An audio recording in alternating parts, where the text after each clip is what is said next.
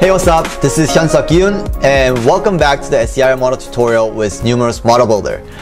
Um, in this tutorial, we're gonna now add stochasticity to our discrete model and be able to capture the randomness of the nature of a population. Uh, Kriti is gonna help us go through the model again, so let's go ahead. Kriti? Hey everyone! So in this video, we will now be looking at an, a stochastic SEIV disease model. Now, there are a couple equations, a couple sets of equations in the paper that talk about the stochastic equivalent of the discrete dis deterministic. I suggest that if you're confused with the mathematics behind this model, it's best to refer to the paper. Now, there's just one new thing before I go to this. What, what before I talk about this, let's kind of review a few other things. So we have all these different terms, and we can think about them as variables. Now I'm calling all of these variables in my different functions over here, and these are essentially states. Now, since this is since this is a discrete stochastic model, we're still going to have it as purple because we're representing sequence, not something that's continuous, which would be stock and flow. All right, and then we have obviously our, our two outputs. If you're unsure about what's going on with the graph and the table, strongly suggest that you go back to even just the first video, which talks exactly about these two items. Alright, now the only new thing which you're probably curious about is this little blue thing over here, which we'll call a code chip. Now if you go to the left, we have added in, so I've added a code chip, I basically typed in stochastic and I hit a plus.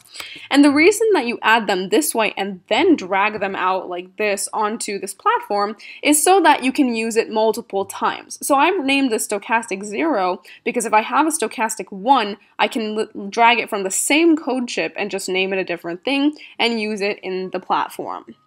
Code chips essentially integrate, integrate the method's inputs and outputs, as I've kind of demonstrated over here, via connections to the rest of the flow diagram. So they can compute sets of data outputs or they can define the function usable in other components. And that was what I was explaining earlier about renaming it multiple times.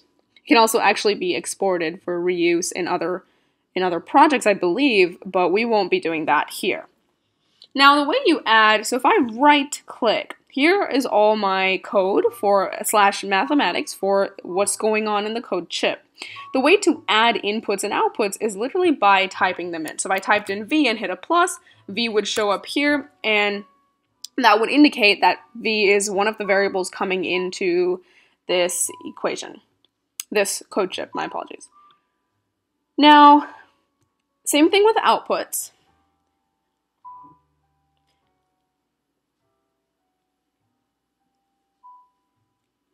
So that would indicate that V is coming into this code chip. Now, same with my outputs. I just type in, if I have a UE, type in UE, hit a plus, goes in as my output.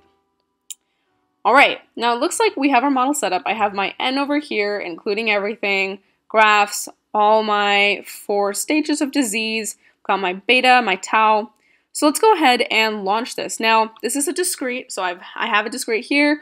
My time interval is relatively arbitrary. I've just chosen 0 to 40 just to kind of show you what our model looks like. Now, if I hit a run or launch, and let's expand this so we can see. Okay, so everything's checked. I got my time interval. Let's hit a run and see what happens. Nice, okay. So here's the table, oopsies, table outputting all these values for me. And here is what my model looks like in a graph format. So here's the discrete, the stochastic model in this platform.